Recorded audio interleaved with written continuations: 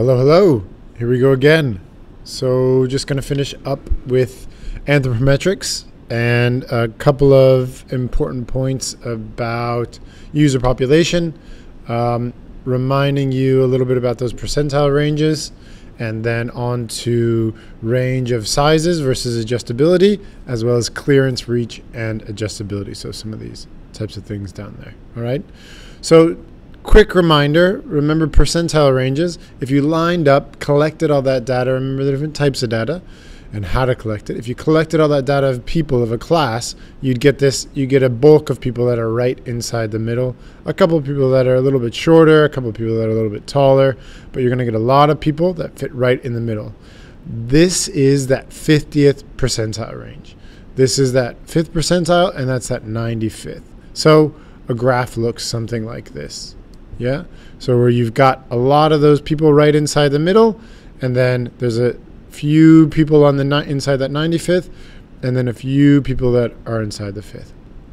Okay. So just remember that as you're as we're talking about um, this anthropometrics, because again, anthropometrics is that science and that data collection of uh, humans and the relationship to objects, dynamic, static primary, secondary. All right. So let's have a look back at something else to talking about.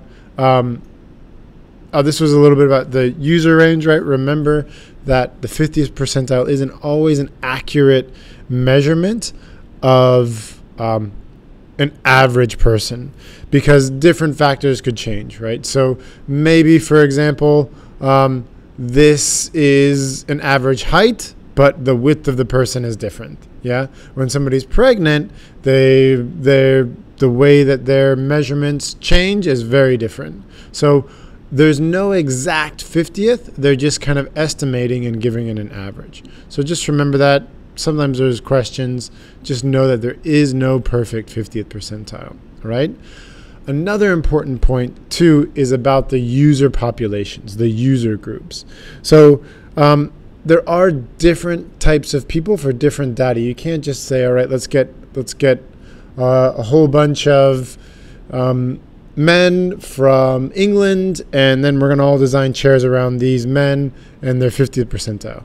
You've got to think of a lot of other user groups that are with that can use products. So a good example is uh, young children.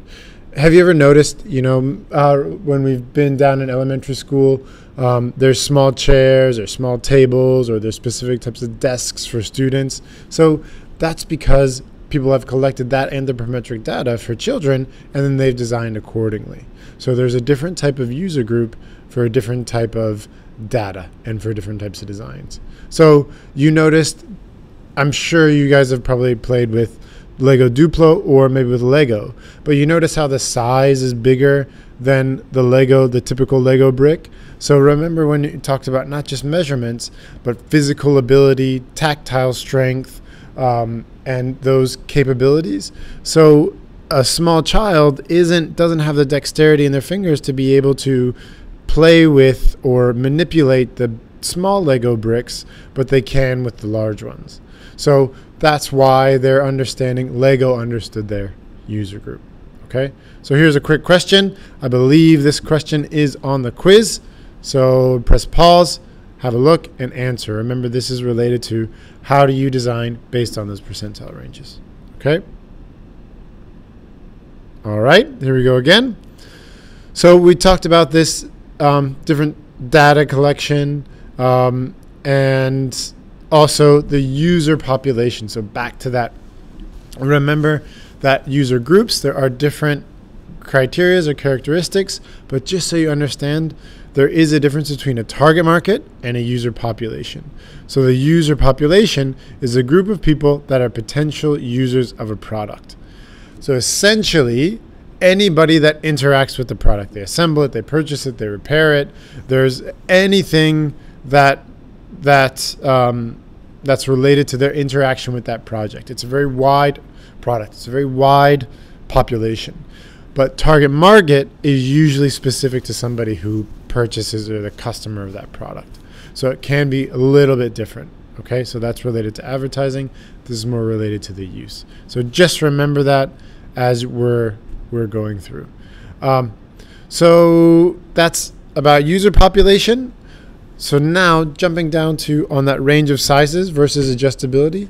If you remember at the beginning, I talked about how people use these to to create um, products, right? So there's the the door handle, there's the shirts, there's the chairs, there's walkways. So that's how these people use anthropometrics in order to design.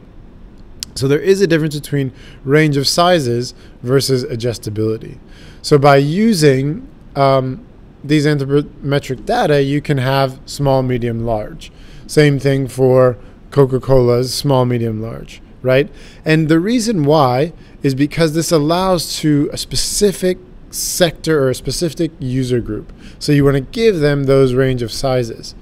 As opposed to adjustability, where maybe you can have the one size fits all, maybe things can move and be adjusted, and it depends on the type of product and what type of percentile range or who is going to be using it. So, for example, it's tricky to have a one size fits all shirt, but a one size fits all hat because there may not be as much of a degree in change that makes a bit of a difference. Okay, so here's flipping through. There's a couple of more examples just so you can see the difference between that range of size and adjustability related to the different products. Okay, so to add into, with addition to adjustability, there is clearance and reach. So these are important because it's thinking about as you're designing, you're thinking about how to design based on that reach, how much clearance a certain thing has, and if it's adjustable or not. So, for example, when they looked at this chair, this chair is adjustable. These chairs are adjustable. So, but it also considers reach in some way. So, how far across does somebody need to get? How how low do they need to go to get something? Adjustable, the same thing with the car seats. So, how do these things move? And clearance, so if things go over, around, or you don't bump into them. Okay? So, examples drawers that can be pushed in and out underneath of the bed, um, wheels that allow to the that allow um, hangers to be able to move around, but also reach inside. So how far you get to you need to get to get particular items. Um, a couple of other ones as well too. Keep going. Adjustable hats. You've seen these things before. All right. Here's a few more examples. Okay, so it's understanding how to use those factors of clearance, reach, adjustability, range of sizes. Okay, so your task on your on the form is about finding design contexts for clearance, reach, and adjustability, and saying why that is a priority in those specific designs. I think the definitions are pretty clear what clearance is, what reach is, and what adjustability is, but remember that it's those three specific things. Okay? So actually, that's it for human factors and ergonomics. So we've gone to remind you again, we've gone about over static versus dynamic data, also called structural and functional, primary data versus secondary data, percentiles, percentile ranges, range of sizes, adjustability, clearance, reach, and adjustability, and then how to collect it, what's how it's reliable, how it's not, how user populations change, and then how you can use percentile ranges for different products, as well as reach, uh, clearance, and adjustability. Okay, so next up, um, that's the anthropometrics. Next up is psychological factors and physiological factors. Okay, so remember to please complete that form, and I'll see you soon. Thanks for watching.